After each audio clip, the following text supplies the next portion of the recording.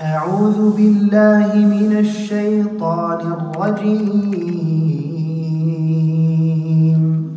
Also, I heard Sheikh Salih bin Abdullah ibn Hamad al Usaymi say, and he heard Sheikh Muhammad ibn Salih al Uthaymin say. Okay? Muhammad bin Salih ibn Uthaymin, rahimahullah ta'ala, he mentioned something very, very powerful. He said, قرأنا كثيرا وحفظنا قليلا. We read a lot and we only memorized a little bit. فانتفعنا بما حفظنا أكثر من انتفاعنا بما قرأنا. Are you with me, my brothers and sisters? He said we read a lot and we memorized a little.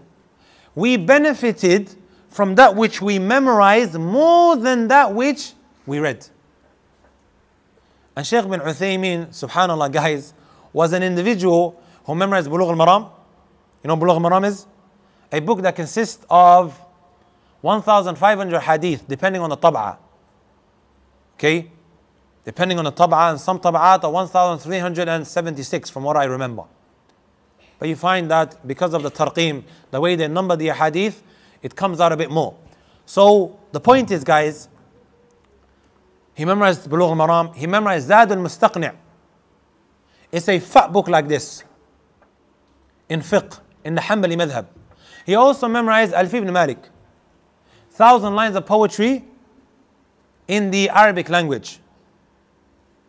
And other books that he memorized from the Mutun books. Are you with me, guys? And still he goes, we only memorized a little bit. And from that which he memorized, he says that he benefited more from that than all the mutala'a, the books that he used to read.